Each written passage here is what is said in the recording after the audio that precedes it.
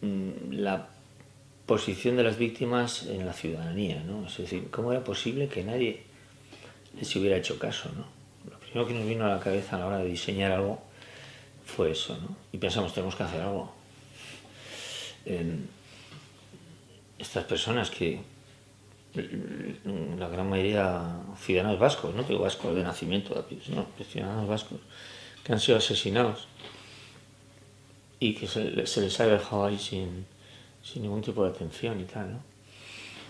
Y pensamos que había que hacer algo, que se podía contar algo, que, podíamos, que éramos capaces de contar algo y que por dar veces que no había hecho nadie, que ya nos parecía bastante raro, fíjate, o sea, desde que empezó el gobierno vasco, cada año se hacían aquí 15 o 20 películas. Sí, algunas con ETA, la UFO de Sogovia, no sé qué, sí, pero, pero todo eran como la, la épica etarra, el militante que va, que tiene sus problemas para matar, para no matar, pues que, que, bueno, la persecución, bueno, esas cosas de, digamos, de, de trama de acción, ¿no? cinematográfica, ¿no? En, aquellos años Cristina Cuesta escribió un libro que recogía unos 20 testimonios de víctimas, Contra el Olvido se llamaba, y dijimos, joder, esto mismo, o sea, si aquí tenemos, fíjate historias, 20 historias tremendas, ¿no?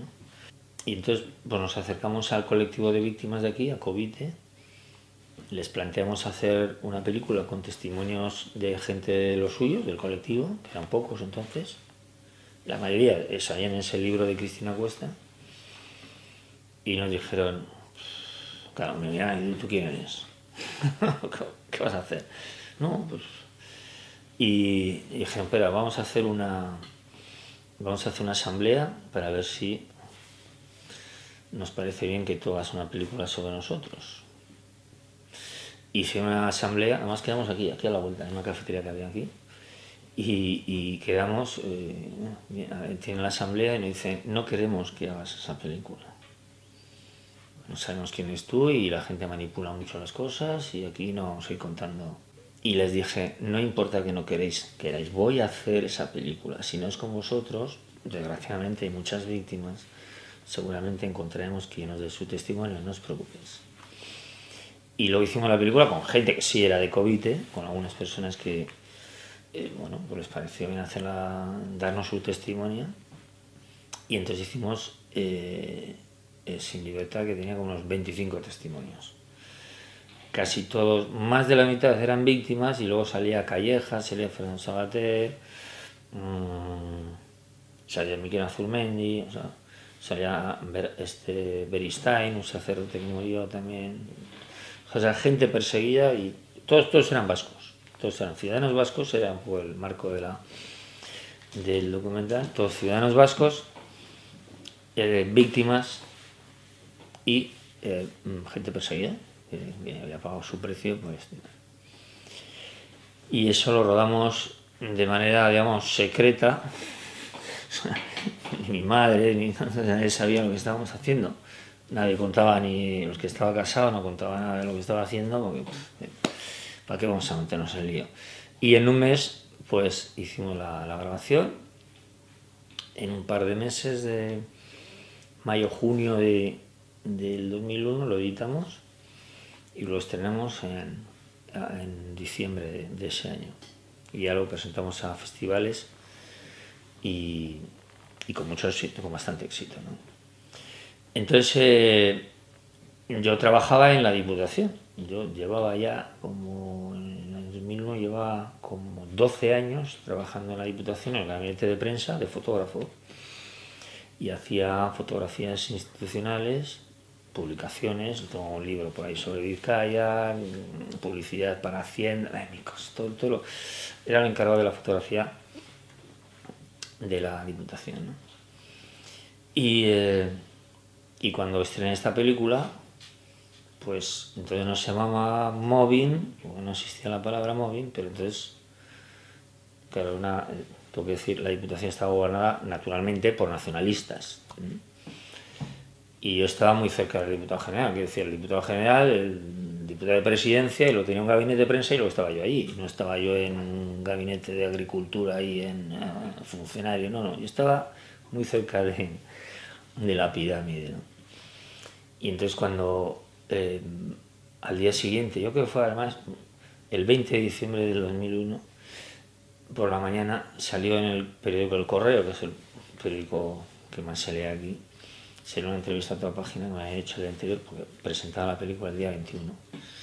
Y, eh, y entonces, claro, en los gabinetes de prensa los periódicos se leían en papel. Entonces, lo primero que se hacía, todos los seis periodistas que eran mis compañeros de hacía 12 años, pues eran leer los periódicos. Entonces, el día ese, abrían el periódico y me vieron allí. Y luego llegué yo. Yo hacía, hacía eh, como, pues esto fue en diciembre, yo creo que a principios de ese año se presentó el, el, foro de Hermoa, el foro de un movimiento cívico, hay que explicar ahora porque nadie hablaría, un movimiento cívico integrado por profesores, intelectuales y sobre todo periodistas y tal, en contra del terrorismo y muy crítico con el nacionalismo, ¿no? Ibarreche, entonces, con sus afanes. Firmaron un manifiesto pues otras 200 personas. Y yo lo firmé. Yo no había hecho una película, yo no, era una persona conocida, ni, ni pública, ni nada. Estaba haciendo la película, pero no la había hecho. Y entonces eh, pues, recuerdo que el periódico nacionalista empleó media página en sacar los nombres de todos. Ningún otro periódico lo hizo, yo sí. Sacaron los nombres de todos en un faldón así. Y mi nombre estaba por ahí. Entonces, una compañera de la. No, de la de prensa lo que digo, se veía el periódico. Entonces, una compañera me dice: Oye, aquí hay un Iñaki Arteta, ¿eres tú? Y le dije: Bueno, tengo un tío que se llama igual que yo, Iñaki Arteta, pues sí, ese soy yo. Ah, se acabó. Ah, muy bien, se acabó. Pero cuando hice la película, pues empezaron a pasar cosas. ¿eh? Eh, estaremos el 20 de diciembre y el 15 de diciembre nació una de mis hijas, esta la pequeña. O sea, yo tenía tres hijos que eran, todos se cagaban a la vez, vamos, eran muy pequeñitos los tres, ¿no? Bueno, se acaba de nacer. Es decir, porque eso demuestra la, la poca piedad que tienen los nacionalistas, porque en dos años me dejaron sin trabajo ahí. O sea, lleva 12 años trabajando ahí y a partir de, cerciorarse de que yo no era de la tribu, pues me imagino yo, porque la entrevista que me hicieron, pues yo me preguntaron y hablé, y hablé por lo que... El periodista que murió joven hace unos años, el periodista siempre, siempre me dijo años después, pero tuvimos amistad, me decía, joder, te echaron por mi culpa. Digo, ¿qué nombre? Tú me preguntabas, yo respondí. bueno, ¿eh? y a raíz de aquello, sí, me empezaron a hacer bien, pues empezaron a sacar mi plaza concurso, tal, la gané, luego la sacaron otra, ¿no? hubo que repetirla, decían que había que repetirla, no sé qué, la volví a ganar, bueno, un lío, un lío que me llevó a que en, en dos años me salí de allí, me dejaron sin trabajo. Con tres hijos pequeñines, me dejaron sin trabajo. En 2004 ya no me hicieron ni cena de despedida ni nada. O sea que, no sé, bueno, no sé, no sí sé, pero vamos, es más, más largo de explicar. ¿no?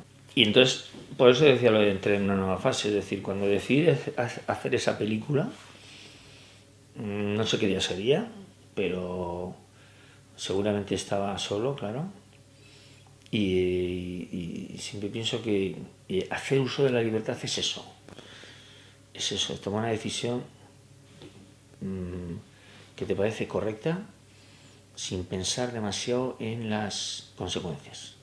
¿eh? Porque también mi mujer debe estar tan loca como yo, puesto que también le pareció que, que, si quería hacer eso, esa película, que indudablemente sabíamos que de ella colgaban muchos problemas. No sabes cuáles, ¿eh? pero sabes. Esto es como lo que se decía de la Inquisición, si no te queman te chamuscan. Aquí esto es igual, si no te, no te pegan un, tero, un tiro, yo ya sabía, porque además había entrevistado a esta gente y tal, sabía que siempre pasaba algo, siempre pasaba algo, al que se posiciona en contra. ¿no? Por, bueno, pues, el sectarismo es que es inherente al nacionalismo y no digamos a los ultranacionalistas, sabe que vamos a, bueno, entonces mi vida cambió, entró en una nueva fase ahí en, ese momento de hacer esa película, ¿no? No tengo trabajo, ni, o sea, y no solo el trabajo en la Diputación, yo hacía trabajos freelance a empresas como, yo que sé, aquí la Caixa, para revistas, podía compaginarlo, no era funcionario, podía compaginarlo. Y todo se cayó, misteriosamente, yo no me lo he explicado nunca, pues no creo que se mandara una carta a este tío, todo se cayó, absolutamente todo.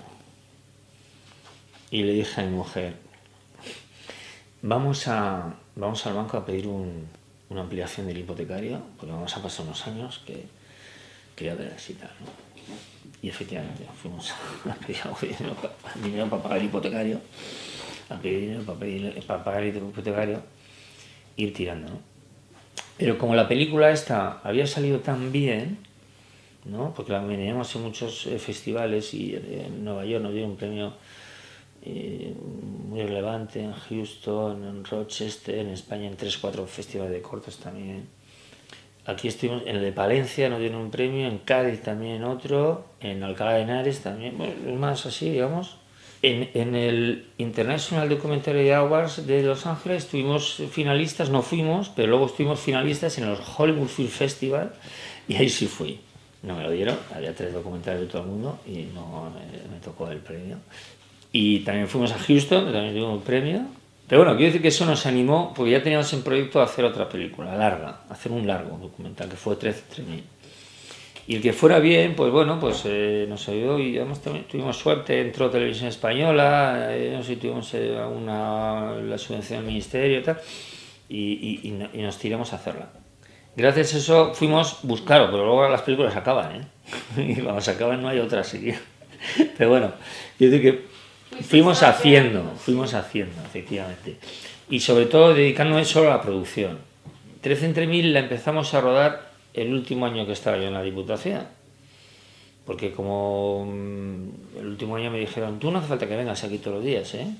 Ah, eh y la llave esa que tiene tu despacho, tú déjala aquí ya, tú cuando vengas ya te la damos y tal.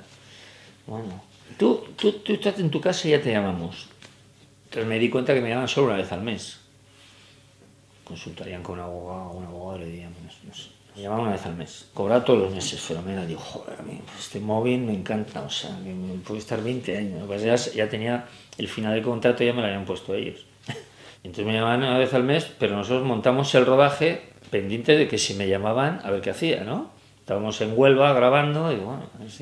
Bueno, no me llamaban nunca, no coincidió nunca. Me llamaban una vez al mes, hacía unas fotos, no me las pedían, ¿no? Bueno, ya sabía yo que aquello, en fin, ellos no querían ni verme, en definitiva.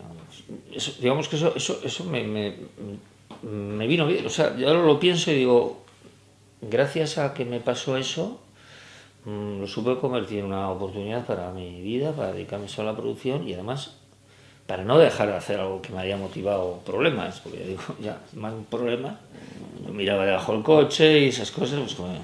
mirabas? Sí, por temporadas, pues dependía cómo estaba la cosa, pues cuando le pusieron la bomba a Madina, la pusieron aquí a 3 kilómetros de aquí, a las afueras de Baracaldo, y a una concejala del PSOE le pusieron una bomba en Portugalete, a 8 o 10 kilómetros de aquí, pues pensé, estos están por aquí. Entonces, bueno, pues había que tener ciertas precauciones. ¿no? Pues, con eso se vivía más o menos. Yo tenía aquí, aquí, en, este, en esta casa vi un concejal del que fue entonces era concejal del PP y a la vuelta de mi casa en otra calle había uno del, del PSOE que tenía escolta, entonces te asomas por la mañana y había coche de la chancha mirando las papeleras tal, merodeando por aquí, entonces yo gorroneaba escolta, como decía aquí. Yo sabía que bueno, estando, estaba bien protegido y tal, ¿no? que los pobres tenían que ir al ayuntamiento, que tenía 100 metros y tenían que ir hasta allí para, para dar la vuelta para que no les limpiaran el forro, porque claro, tenían que cambiar el recorrido, pues increíblemente, estaban a 100 metros. Y era, era lo, lo, recuerdas ahora, puede hacer hasta gracia, no sé, hay cosas que fueron tan absurdas que había que hacer, pero y además que no sabía si te iban a tocar. Mí yo no tuve ninguna eh, amenaza expresa ni nada, me dije tal, ¿no? ¿no? Pero yo había hecho entrevistas a muchas viudas que su marido nunca había tenido amenaza de nada. Entonces, bueno, quiero decir que ya sabía cómo iba la película o cómo podía ser. Fíjate, estamos hablando de hace, pues eso, 15, 18 años, ¿no? El ambiente era... Eh, el primer cartel que hicimos para la primera película es una tenaza. Es muy gráfico, es maravilloso. Y cuando me lo presenté el diseñador me dijo, le dije, joder, una tenaza, no sé, no, no, sabía lo que iba a hacer el tío. Y una tenaza, pues no sé decirte. Y dice, tú piensa una cosa, esta tenaza es ETA y esta es el nacionalismo. Y la sociedad está en medio. Digo, joder, ya está, no me digas más y tal. Y efectivamente, eso es. Y entonces así se vivía el silencio provocado por el nacionalismo imperante, mm, admitido socialmente como lo normal, y si no te parecía normal debías estar callado, y el terrorismo de ETA, pues ojo,